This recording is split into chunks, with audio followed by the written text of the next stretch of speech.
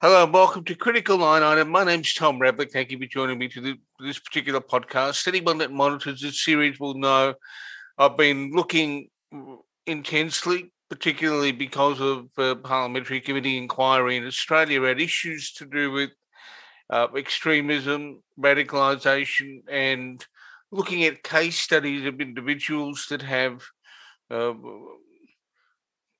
entered into and then exited uh, what people would call extreme movements. It, it, really doesn't matter what the movements are. If they're uh, if they involve people getting enmeshed, uh, radicalized, and then having to go out, it's useful to understand how all this happens. My guest for this podcast has a fascinating story. Um, he's Jewish, but he didn't find that out until later in life. But for a long period of time, he was an office bearer in the National Socialist movement in the United States. His name's Fred Cook, and I'm going to I'm going to introduce him now and uh, get him to tell the story because there's nothing better than hearing it from from uh, the source itself. Fred, thank you for joining me. Thank you for having me. It's sometimes difficult to get an audience for who we were and to talk about you know what we've learned from those experiences but i think it's important that um, the message that a lot of people who are former members of extremism um, to really get their message out. Now but in order to get out um, you had to find a way in. How did you end up getting involved in uh, extremist movement, an extremist movement in your younger days? Um, well, I didn't really have uh, an ethnic identity. Whenever I asked my grandmother what I was, she didn't know we're probably German.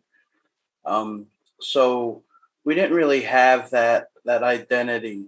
And I also wasn't very well accepted by people. So when a friend came around that had other friends that you know they were just willing to accept me because i was white.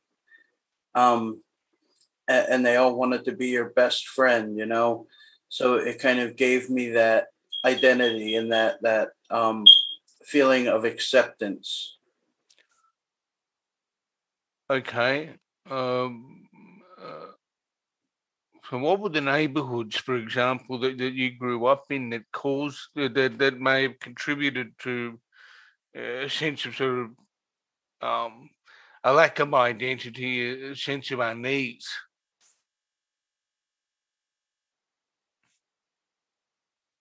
I grew up in a mostly Cambodian, Laotian, Vietnamese neighborhood. It's referred to as Little Cambodia in Philadelphia. Um, so I grew up there. I wasn't very well accepted because I was that weird white kid that lived with all the Cambodians. Um, so my family decided later on to move to an Irish neighborhood. And in the Irish neighborhood, I also didn't find much acceptance or anything because I didn't celebrate St. Patrick's Day in the same way, or, you know, just small, meaningless things that, that I really wasn't accepted by them. With the skinheads, they had the saying, you know, if you're white, you're all right. And it kind of gave me that identity Okay. That that is the seed of where you came from in terms of getting into a, a group, finding a, a, sense of, I guess, identity, a sense of belonging. Right. Um, how do you get from there to becoming more radicalized? I was in high school. Um, nobody knew that, you know, most of my friends were skinheads because at the time I didn't really care, you know, anything about race or any of that. I was just having friends and partying. Um, so I'm in school and a black girl had asked if I would go out with her. I told her I was already seeing somebody. She got mad and she told a bunch of the other students that I called someone that I called her the N word and at the end of the school day, I walk outside and I'm jumped by 12 kids, hit in the back of the head with a brick, and left in a coma.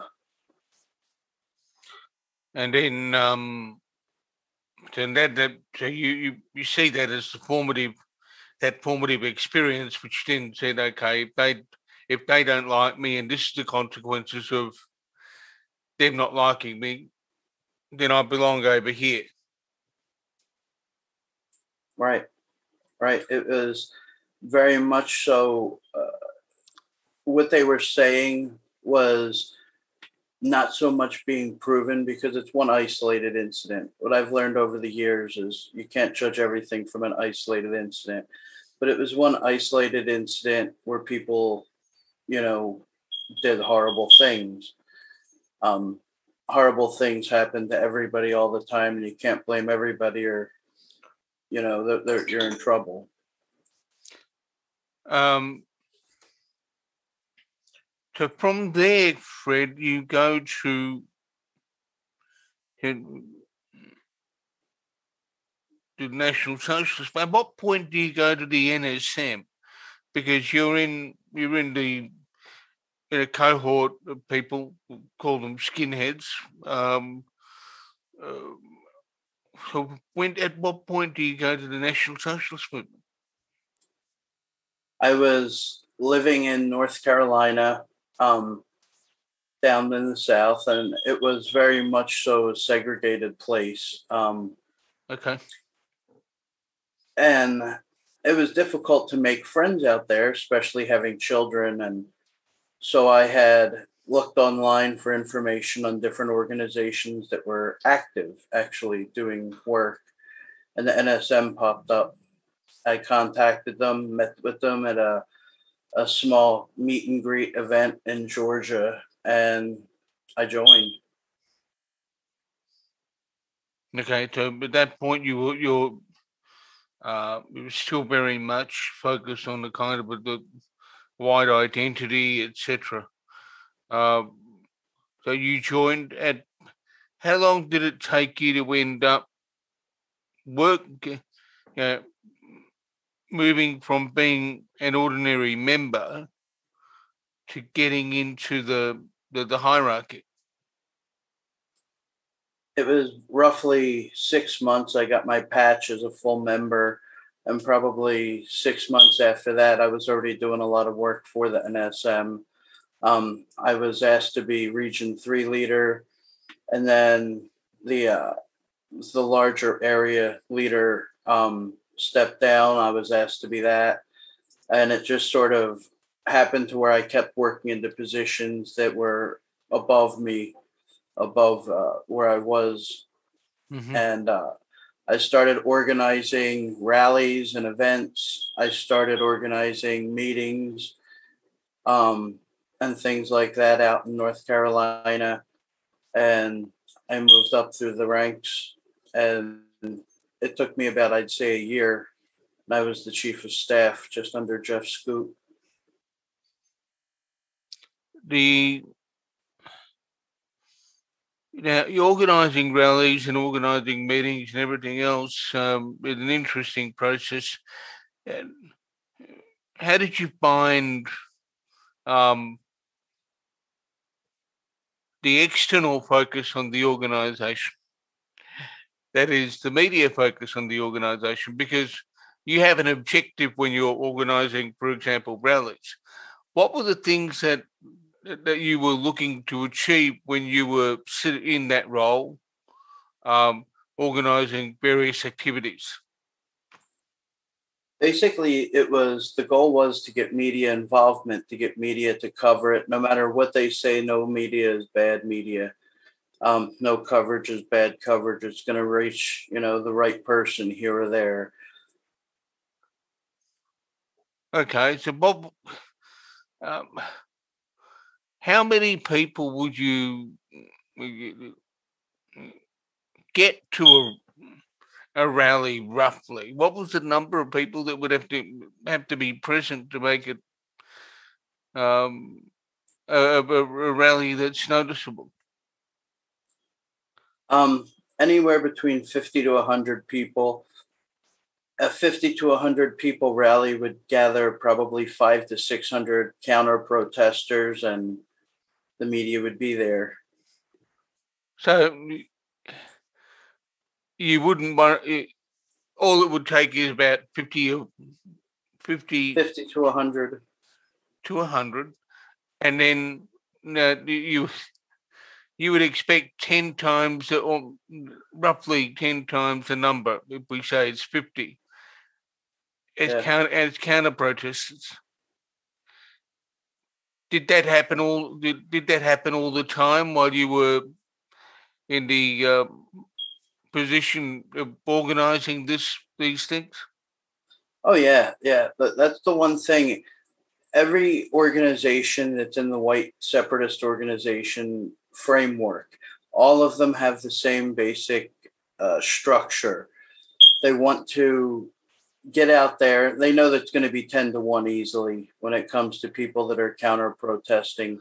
So you have to try and get as many of your guys there to get as, as many counter protesters as possible there because you know what you're going to say is inflammatory. You know, you know what you're, you're going to say is going to get a row out of people and it would make them act up and the news would have to cover it. The news would have to, to be there. And it, it, if you're an impressionable kid like I was, if I saw something like these guys standing against this insurmountable force dressed in these uniforms, you know, shouting that they're doing it for some noble cause, that would at least get my attention. And that's why I'm, I'm a big exponent of not giving these things a lot of media attention. Uh, can we touch on that briefly? Because we've had the debate in this country, mm-hmm. in Australia, uh, about um, the appropriateness of covering and how uh, uh, organisations and individuals, uh, given your experience, uh, how do you believe um, people should uh, cover events? For example, an extremist rally or, or something else, uh, given what you've just said, which is uh, providing names and and a, a, a specific identity um, feeds into a group's narrative and basically feeds the beast, right? What's the appropriate way of covering these organizations in your view? as dry as humanly possible. Don't allow any flourishes in the words you use. You know, it, it, it, read the news whenever it comes out and it's local about an event that happened. It's always this many people were injured. They don't tell you it was people hurting each other out in the counter protest areas or anything, you know, but, you know, overall a peaceful rally. And they know they know that when they say overall a peaceful rally, there is no peaceful rally with hate speech. Um, so when you're out there, it is a peaceful rally, but you know they're going to report it as, you know, peaceful and get people riled up. You have to be very meticulous in, in being cold and dry when reporting on it. Nothing like the infamous neo Nazi organization, nope, just the National Socialist Movement very cut and dry, very, very without pomp or fluff or any uh, excess beyond what's needed to be known. Um, uh, uh, would you argue that an organization's name should not be mentioned? Yeah. Okay. Yeah, I, I don't think organizations should ever be mentioned because you're always going to have somebody that's going to see it and you know want to look it up want to look up the information um, and some people are going to get involved with it because of it. Some people are going to take that next step. It it can be it can be ch- challenging because of the, the way in which different media organizations work and, and and that. So i understand and appreciate what you're saying. Um, but from the role of chief of staff with organizing events and all that sort of thing, um, you end up leaving. What prompted your exit? Um, before the actual date that I left, I started having questions. We started getting a lot of emails and messages and phone calls from people saying, I was looking on Facebook and that member that's a member of our organization has a black friend. I think they're, you know, Antifa, or I think they're spying on us, or they're COINTELPRO, or something like that. And it was always, I, I would say 10, 10 a day, every day. and it started to le- lead me to recognize that the whole brotherhood, the whole we're all together, you know, we've got each other's back, that was false. And that was one of the initial things that drew me to affiliating at all was the brotherhood aspect, the fraternity aspect. So once that came down, I, I had other questions. And I know if I asked those questions amongst any members, or even if I talked to Jeff at that time, it would have been, you know, well, I could possibly be the enemy. Um, these questions would question everything. Like, you know, the Jews in Nazi Germany, one third of the population were killed overall um, through Hitler's reign. Mm-hmm. When you know these things, even if you believe in some form of Holocaust denial, where I saw uh, one person on a website when I was still a member say something along the lines of, it was closer to 500,000 Jews that were killed. What does it matter? There was a lot of people that were killed and a whole population of, of individuals.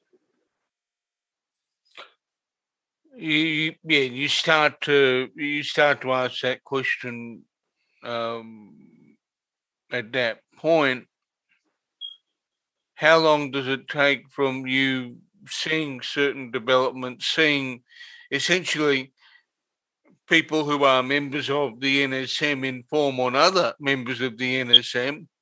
All right. All right. Which is what you're, which is effectively what you're, what you're describing. Yeah. Um. So the subculture, the extremist group, then has people who are who are creating the out group. Here's someone who hangs out with us, who's hanging out with. How long from that realization is the eventual move from detachment well, about, from? About six months in total. It took the birth of my daughter was the the last day I was officially a member. Um, I was doing work with the group Anonymous, and we were doing uh, dark web work trying to find people with child pedophile pages and get their information leaked, get their websites taken down, um, that type of thing. And on the day that my daughter was born, I get a phone call from another high ranking member. And he says, I heard you're working with the hacker group Anonymous. You're working with the enemy. So what does this mean? Are you an enemy now? And that was basically it. I basically effectively resigned eight years ago on the day of my daughter's birthday. Now, uh, there's probably also something else going on when you've got a a, a child coming, isn't there? You're, you're thinking yeah. about you. You start you start also thinking about what sort of world you know you eventually of course your daughter but what sort of world the child's going to live in? Right right you, you you see things from the perspective of not just me and now but them and their future. It, it's very sobering and it puts a lot of the things that you had doubts about into a different light. It makes it easier to just say this isn't right. You from your teens when you enter into a movement then sort of adulthood when you leave a movement you then have uh, then discover something about your background that turns everything you've ever done before on its, on its head.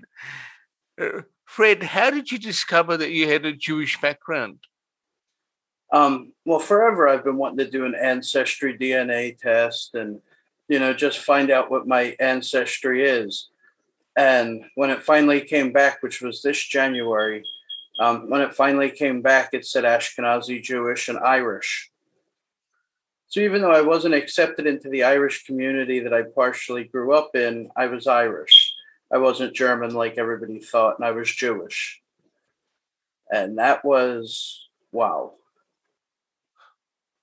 What did that what did that realization I mean you've described it as wow, but um, I suspect the impact had was a little bit deeper than just wow. uh, am I right? Absolutely. It, it it first brought a lot of tears. I was really broken because not only did I predominantly focus on you know anti-Semitism in my past, but it was now I focused on anti-Semitism against my own people, the people that I could have known all this time. And it was really earth shattering because all of the the anti-Semitic work that we did from flyers that were you know the Jews do this and the Jews control this industry and that's why you know there's an anti-white agenda there. And all of that sort of hits you like a ton of bricks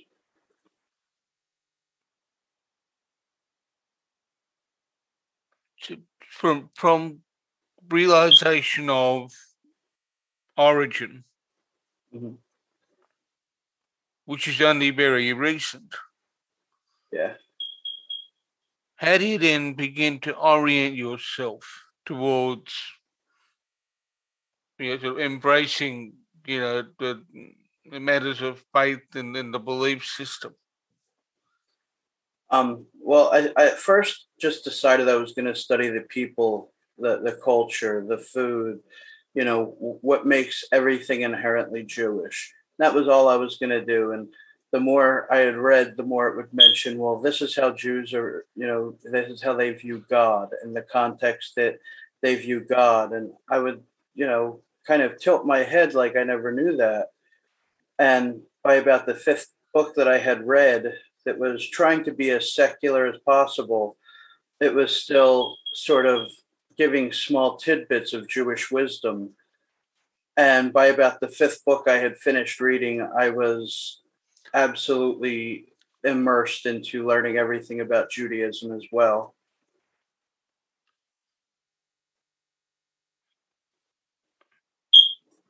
So, what changes does that make, you know, to your life? Because um, things then start to align a little bit differently, right? Right. All right. Well, my wife was, she's always been very supportive. Um, when she found out, you know, I was Jewish, she was like, you know, it doesn't really matter who you are. I know who you are, that type of thing. And so it wasn't too bad on her. She is trying now to study Judaism as much as she possibly can to get a better idea, and she may or may not convert with me. Where are you at in the process of, you know, former, formally entering into the, the faith? Are you, we um, you, it's clear that you've marked out the sort of the Sabbath, uh, yeah. as, as and all of that. You you you you've gotten to that vibe, but um, how do you? You know, how, at what point are you in terms of getting to, to, to a more formal? Um, I am six months into the process now. I have another seven or eight months because I still have to complete a full uh, Judaism course, which is four months long.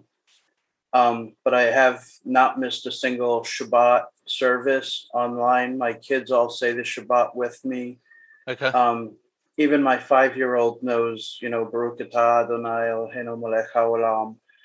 She's got it memorized, and uh, we we're not forcing the kids into our religion.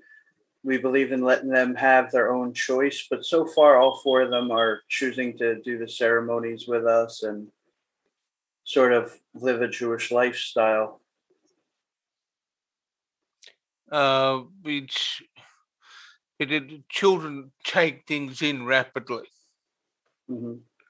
Um, Yeah. so it doesn't surprise me uh, that that that's happening. You then you, but before you discover you've got you, you're essentially Jewish, you move to working with Jeff Schoep and the team at Beyond Barriers. Yeah. Now, to describe the work you do with Beyond Barriers and then where it where, where you where you fit in. Um, I'm the associate director of Beyond Barriers. We work in counter extremism, counter domestic terrorism. Um, we work towards breaking ideology. We work towards reassimilating people into society and, and rehabilitating them from, you know, the, the ideology that, that Mhm. they were a part of. Um, but we also work with you know other extremists from the far left, the religious extremism, um, the far right. It, it's very all encompassing of what we do. But a good many of us have experience in uh, the far right. So when we write a lot of the stuff that we write and try to to tell people, it's mostly our focus. Um, in did you find how do you find having to sit down with people and having the conversation to, to, uh, to help them extricate themselves? Yeah, well, that's one of the great things about anybody. Anybody can change, anybody can become what they want to do to some degree. Um, if you really are dedicated to trying to change, Beyond Barriers has a lot of different methods that we utilize that, that would help. Um, we believe in having people uh, learn from other formers to to sort of learn how that got how they got out, what they did when they got out. Mm-hmm. Um, it's really beneficial to to see people when you've broken them free of different things that they've held on to for years. And and that's the the, the gist of what we do.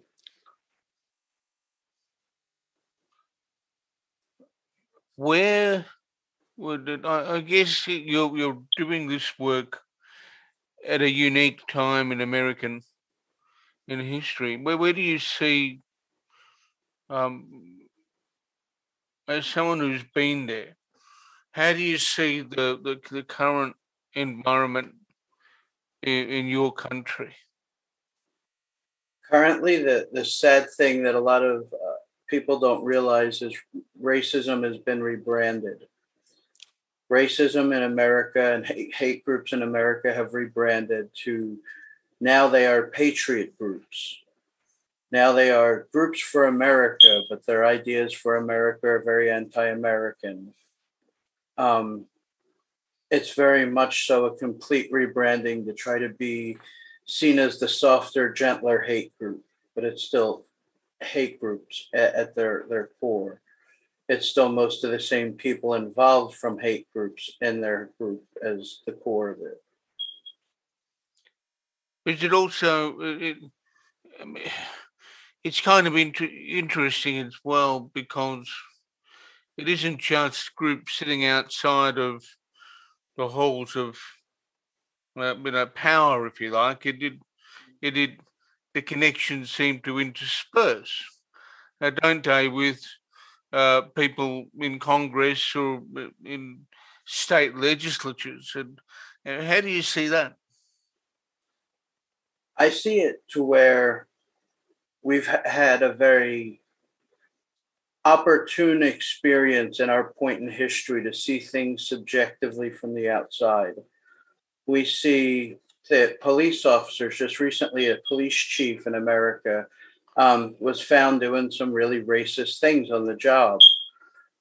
Racists can be anywhere, racists can be anyone. When you're fighting an enemy that's almost invisible, you have to take every lead you can get. You have to to sort of see things through a different set of eyes.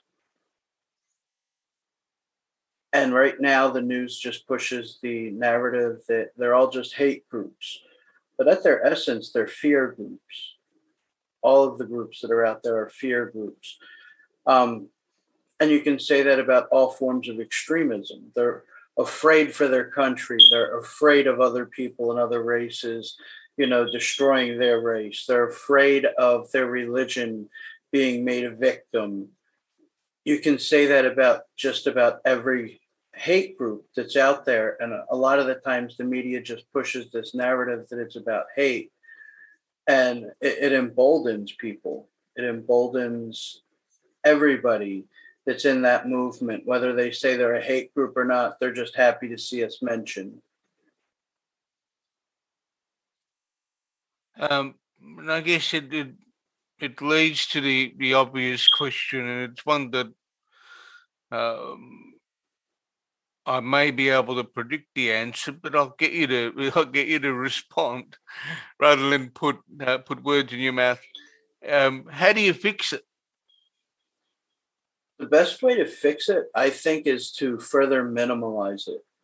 Um, everybody's afraid of hate groups, and they rightfully should be. They, they do turn violent often. They do have violent elements and aspects, but when it's almost glorified, when it's you're mentioning members' organizations, you're mentioning members' names, you're making them infamous. Well, if somebody can't be famous in life, if their only other option is infamy, they might go for it. And a lot of the news is doing this. A lot of the news is giving them coverage that they want.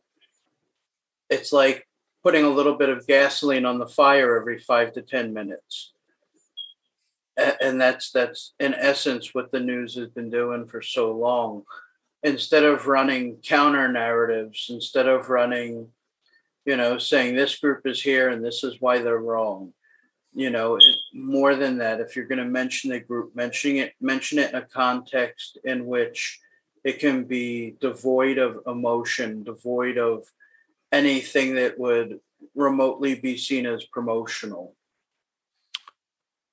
We are in a in a media climate today where the predominant incentive, if you like, um, for, for news uh, content, particularly online, is generating eyeballs to generate advertising. Right in making the suggestion you did in relation to coverage, you, you're also effectively saying we've got to work out how to tame the media beast. Yeah. Uh, um, because people tend to focus on issues by exception. They don't particularly care about the fact Farmer Brown's cow had a calf right? Even though that might be good for Farmer Brown and maybe the community, depending on whether Farmer Brown has a dairy. Okay, then another product, another producing unit exists. But um, if you look at where you're at, you know, how do you curb that culture that is um, ingrained in, in, in media today, which is you know, getting people to respond emotionally means we'll get eyeballs. Right. It'll, it'll get shared. Not only will it go on the website, but somebody might decide to flick it to Facebook, Twitter, uh, Instagram, you know, TikTok, whatever. Um, uh, the uh, how do you do how do you grapple with that it, from, from the perspective of someone who's looking at how you how you sort of contract the audience uh, base for uh, any extremist movement? Right now, it's it's all about ratings. It's all about hits. It's all about clicks. It's all about advertisement. I think the best way of getting beyond that is sort of making it to where there's a different advertising structure to where the news is relegated to a specific structure of, of the advertisement pool, so to speak, that it generates, um, depending on other factors other than viewership. Because right now it's a, a very fear driven thing. It, it's it's very much so as explosive as a Hollywood movie on your nightly news. You know, all of your neighbors want to shoot their their their their guns out at night, and you know other people have a problem with it, and they're outside arguing, and your other neighbors have been violent criminals forever, and they just killed somebody down the block, and it's always something negative. How about sh- some positive? You know, what, what they refer to in the news as fluff. Well, if it's a slow day, instead of perpetuating something that doesn't need to be out there, put on a piece of fluff if it's a slow a slow news day. Something like Polly's Chicken just won first place at the prize, you know, at the at the, the fair. Put something out there that's somewhat positive. Put something out there that that isn't fear inducing. You know, I, I mean, when, when news comes out about just about anything today. My mother calls me on the phone and she's like, Did you hear? We're all going to die again. There's this horrible new thing. And I'm always like, That's exactly who they're targeting with their ads. They, they want to draw you in, have you feel, feel fear, feel vulnerable, and then promote their ads for their sponsors. Hmm. The, I mean, I've just um, interestingly, while we've been talking, uh, I noticed an alert that's come in, and this is where mobile phones and media organizations with apps are very dangerous. I've noticed an alert that, that tells me you know, four men have been fined $16,000 after they fled in a super yacht and lied their way into Queensland to watch a rugby match. We're in the, the New South Wales is in the middle of coronavirus lockdown. So, if, I mean, that's part of the whole uh, issue of people being um, afraid of. And then in that story, it's people enforcing the rules, right? Right. But yeah, to, to even think that individuals would go to the effort of boarding a yacht and going up to Queensland for a rugby match, it, it's something else. yeah. Yeah, it, it, that would be good news for somebody. Yeah.